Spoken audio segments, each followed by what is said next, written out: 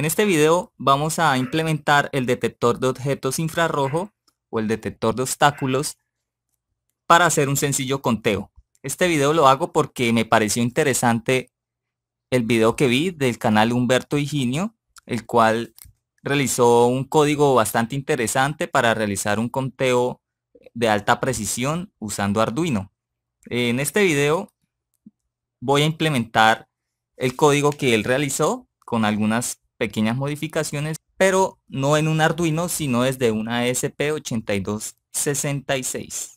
Vamos a realizar el conteo sencillo que él mostró en su video y le vamos a hacer una mejora aprovechando el potencial que tiene la placa ESP8266 de conectarse a Wi-Fi. Vamos a realizar el conteo precisamente realizando una conexión a través de Wi-Fi a la base de datos en tiempo real Firebase, donde vamos a enviar el conteo que vamos a hacer a través del sensor infrarrojo y almacenarlo en la base de datos.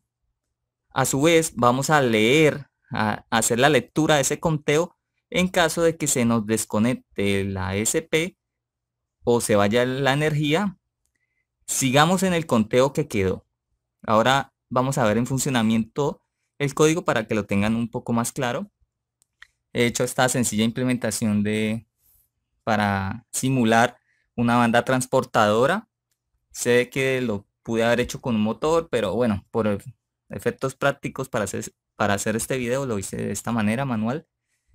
Para simular una banda transportadora de un proceso de producción puede ser, donde vamos a tener flujo de material o de producto terminado entonces vamos a simular un proceso de fabricación de algún producto y contar los objetos que van pasando. Bueno, vamos a poner a prueba primero el código de Humberto Higinio. Le he hecho, como les dije, unas leves modificaciones. Algo que deben tener en cuenta es que el sensor infrarrojo, eh, al detectar un objeto, va a marcar cero en su pin de salida de datos. Él es digital. Eh, cuando realiza la detección de un objeto, envía al microcontrolador un 0. Cuando no está detectando nada, envía un 1. Entonces aquí pues pueden ver el código. Eh, Humberto Ingenio pues se los puede explicar a más detalle en su video. en la descripción de este video se los dejaré por si lo quieren mirar. Pero es algo sencillo, simplemente si se detecta la lectura de, del sensor que sea diferente a un 1, es decir, un 0. Si es diferente a un 1, realiza el conteo. Y si en caso de que el objeto se quedó ahí enfrente del sensor y no ha pasado, o es muy lento al pasar, pues no siga contando hasta que haya un nuevo, una nueva detección. Es por eso que aquí pone un while y mientras siga siendo diferente de 1, no haga nada. Simplemente aquí nos va a mostrar la lectura del pin. Aquí le puse string pues para poderlo concatenar con esto. Vamos a subir el código para que lo vean funcionando. Vamos a conectar la ASP. Verificamos que esté en el puerto que es y subimos el código. Esperamos que realice la compilación y, la suba el código a la placa. Y luego en el void loop aquí pueden quitar este comentario. Es bueno para que ustedes realicen un testeo de cómo es la señal digital que arroja el sensor cuando hay detección y cuando no la hay. Así ustedes entienden cómo funciona el sensor. Puede que ustedes adquieran un sensor que funciona al contrario, que cuando haya detección arroje un 1 y cuando no haya detección arroje un 0. Entonces solo les tocaría acomodar el código de acuerdo al funcionamiento de su sensor. Por eso es importante que antes de programar como tal verifiquen cómo funcionan sus sensores y qué tipo de señales les entregan al microcontrolador para que adapten el código al hardware que ustedes tienen. Bueno, ya tenemos nuestro circuito listo, correctamente energizado y con el código arriba en el micro ya almacenado. Vamos a abrir el monitor serie, verificamos que el conteo inicia en cero, simulamos que aquí encendemos nuestra máquina de conteo a través de una banda transportadora que vamos a simular aquí. Verificamos que el conteo inicia en cero.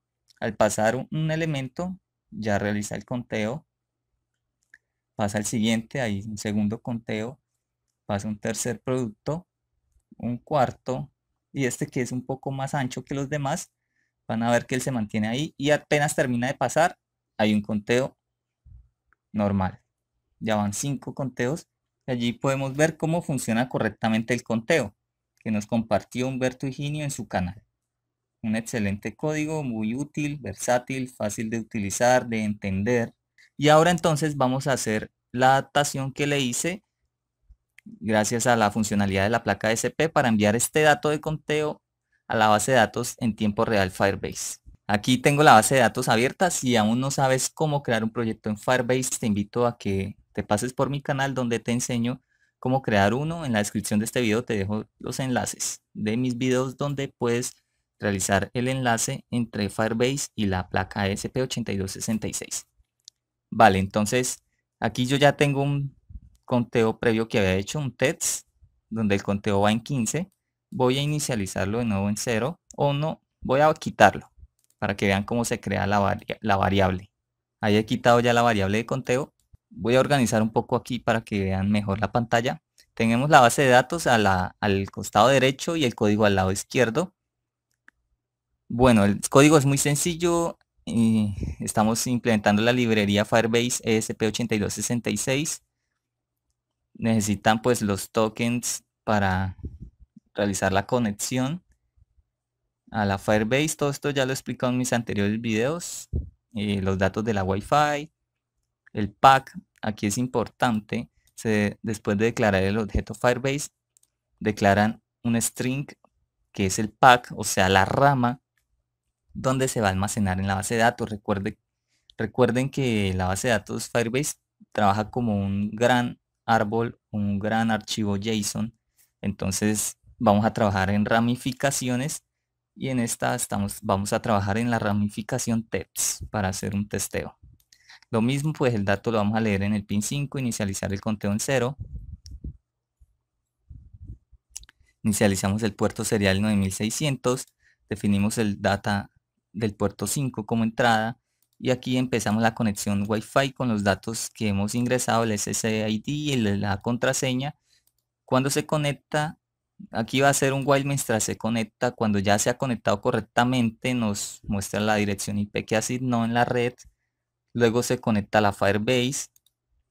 Y estos son encabezados. Esto, este pequeño código, este fragmento del código es para permitir los métodos get y post en las redes que tienen firewall. Eh, Quizás pues esto lo puedes dejar en comentario, ¿no? Depende de tu red.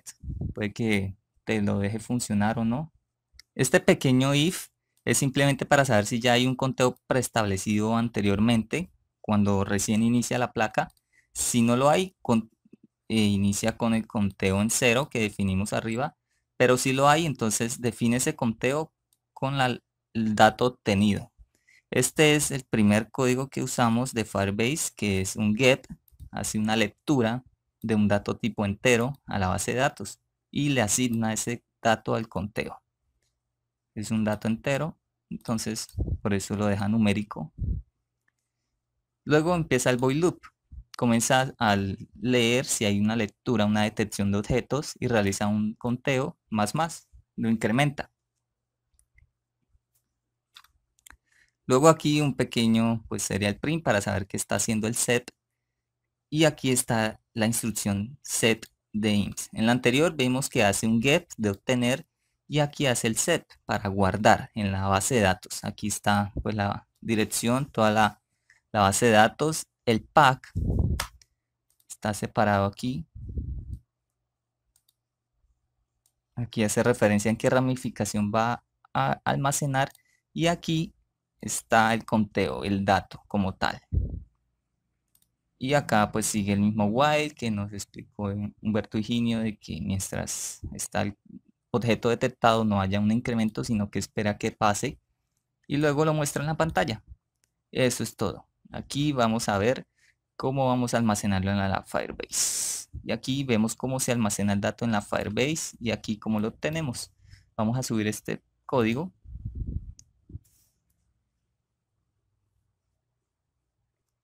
mientras el código compila y se sube al microcontrolador, les recuerdo si les interesa hacer proyectos con la SP8266 conectada a la base de datos en tiempo real, te invito a que te pases por mi canal donde he realizado una serie de videos muy interesantes y que te pueden ayudar para implementarlo en tu proyecto. Bueno, quiero que apenas suba el código, estén pendientes aquí de la base de datos. Recuerden, el dato aún no está almacenado, ya está subido. Vamos a ver el puerto serie. Se conectó, ahí nos asignó la, la IP y hay un conteo iniciando en cero. Como aún no ha realizado una detección, todavía no ha almacenado la variable.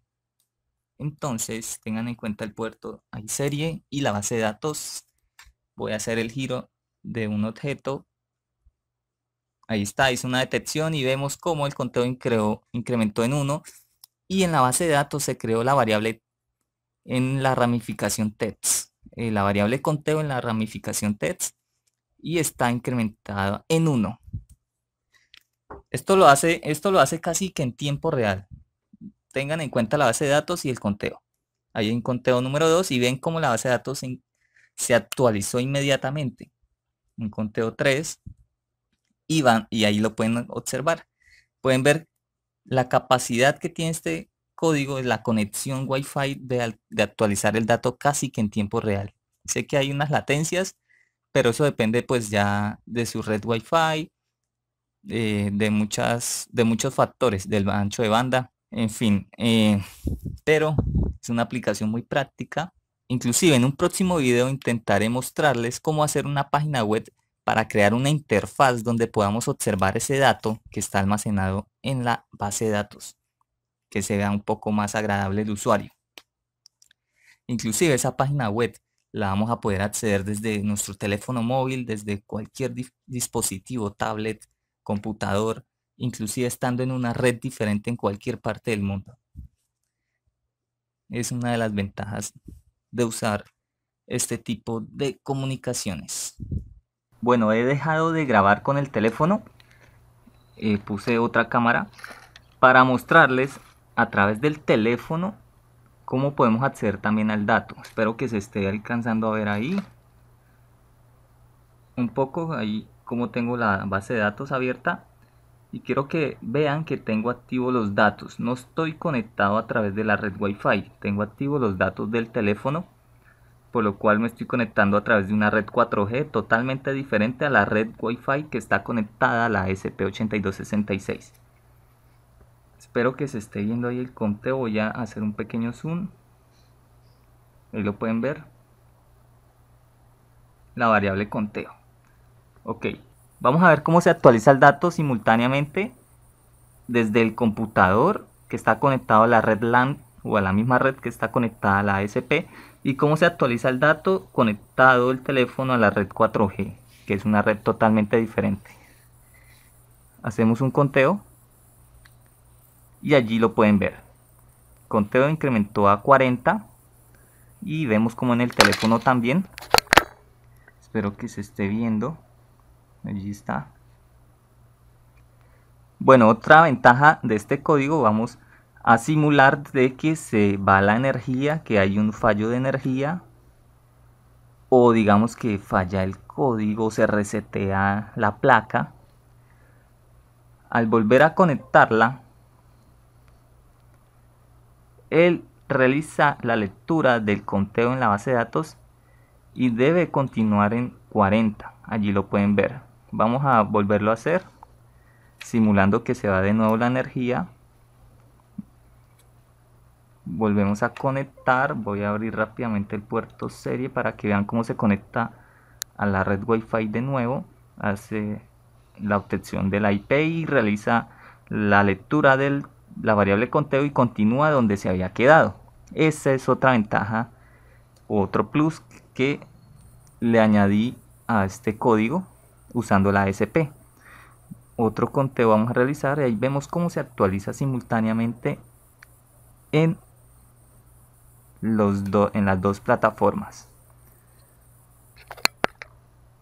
Y bueno, esto era todo lo que les quería mostrar en este pequeño video inspirado en el video de Humberto Higinio. De nuevo, agradecimientos a él por compartir su código. Y espero que este pequeño aporte les sirva de mucha ayuda en sus proyectos. No siendo más, me despido y recuerden suscribirse y activar la campanita para que les llegue la notificación cuando suba un nuevo video. Hasta la próxima.